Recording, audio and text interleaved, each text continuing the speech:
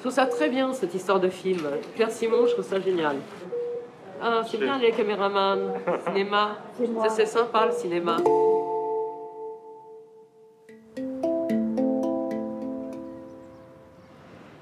L'hôpital est un lieu où chaque personne arrive avec son histoire.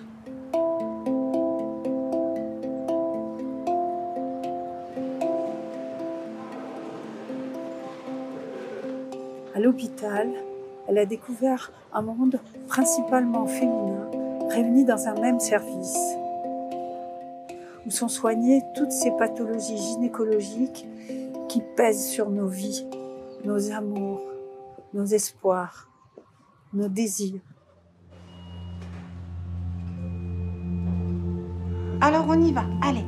Gonflez-vous d'énergie, on y va? Je peux voir, je peux voir votre visage Non. Bah, elle est bien, C'est pas mal. Barbara. hein. Alors, ça fait combien de temps que vous essayez d'avoir un enfant? Ce qui est dur pour nous, c'est qu'on a déjà perdu un bébé. C'est un parcours, quoi. C'est que des petites étapes. Maternité, cancer, PMA. Euh, le matin, tu, sais, tu, nous vois, on est toutes stressées, on veut voir nos réseaux, on veut que ça féconde. Il a plutôt une bonne tête, endométriose, transition de genre, etc.